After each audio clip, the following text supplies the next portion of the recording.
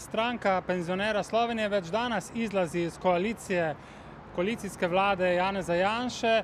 Karler Javec koji se vratio nakon godinu dana, koji se vratio u centar slovenske politike, postaje glavni pretendent, glavni protikandidat Janeza Janše za mandatara vlade, ali treba napomenuti da nema još većinu sa kojom bi mogao srušiti vladu Janeza Janša. On je uspeo unutar stranke homogenizirati članstvo. Danas 37 članova vijeća stranke bilo je za izlazak iz koalicije od 47, dakle uvjerljivo.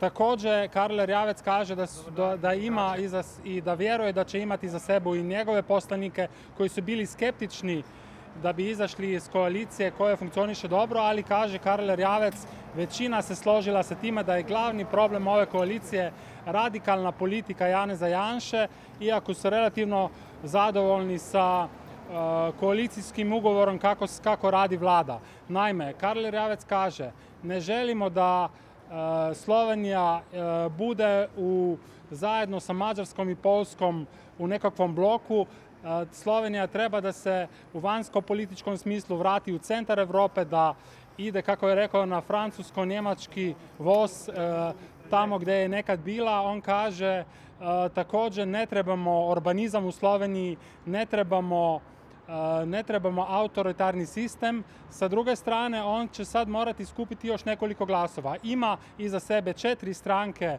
opozicije koje imaju 39 glasova, ima četiri svoja poslanika, dakle to je vrlo blizu 46, ali nije još gotovo. Ono što je sada ključno, čeka se šta će sada uraditi stranka Modernog centra, to je ključna stranka koja je pridonijela i tome da je Janez Janša sastavio vladu.